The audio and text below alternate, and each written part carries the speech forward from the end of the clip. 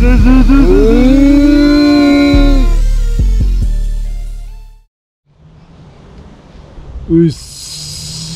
up team? Hope you're all well in the lockdown.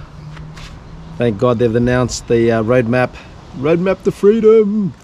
But, uh, look, hopefully in the next few weeks we'll all be out there and start fishing again.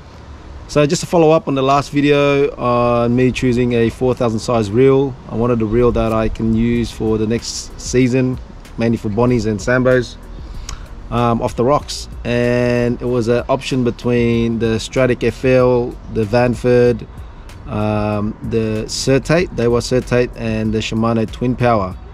Now if money wasn't a thing, money ain't a thing, um, I would have went with the Certate.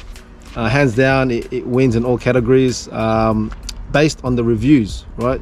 So based on the quality of the uh, of the gear um, as well as the features. But I don't base it purely on that. Um, I have to take into consideration uh, the money aspect and the fact that I thrash my gear. So I went off and got Stradic FL. so the reviews all, all, rated it for its price. A um, couple of reasons for me, I guess, just um, not just the ratings from the reviews, but also I had a Stradic FK which I loved, but it wasn't sealed well and uh, and you've seen how I fish and the boys fish and it absolutely got smashed. The other thing is the way we fish, I don't want to have a gear that's $700 and always thinking about it. You know, I put it on the floor, it gets scratched, it gets, you know, it gets um, a whole lot of salt water in there. Um, I don't want to always worry about it. So I would be less worried because this thing here is 280 bucks as opposed to a Certate that's about $700 or 680 so that was my decision.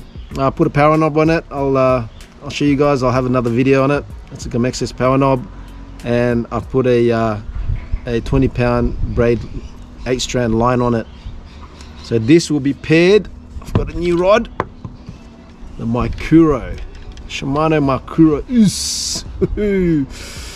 I've gone back to basics boys and, and girls it's the uh, 10 foot 6 four to seven kilos. I needed something that was longer. Um, I was relatively light and relatively cheap. It was only 100 bucks. Normally 140 bucks. Got it from Anaconda for 100. So all up, it, I spent what's this? 280 bucks on the reel. $30 on the power knob. Oh, $22, sorry, on the power knob. And I bought eBay braid for about 50 bucks so what's that mm, about 400 about 450 bucks right so I spent 450 bucks for my my my my basic rock fishing gear uh, I could have spent about 1200 or 1300 on what I was thinking which is a Certate and a, a nice expensive rod but I think this will do.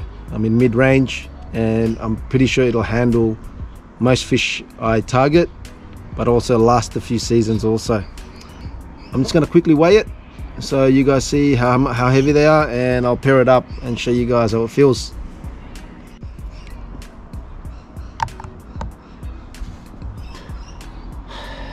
there you go exactly 300 grams okay let's weigh the, the rods uh, the rod rods. There's only one rod. What's it weighing? Uh, uh, uh, yeah. Okay, I don't know if you can see that on screen.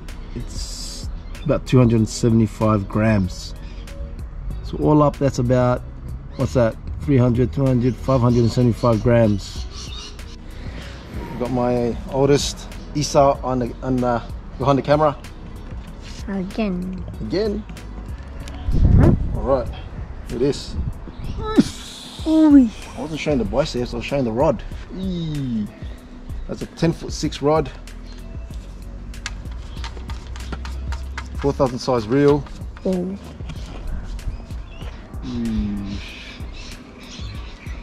Yeah. Yeah. Ooh. Yes. Slightly on the heavy side. you know what they say about heavy rods. That's it. Yeah.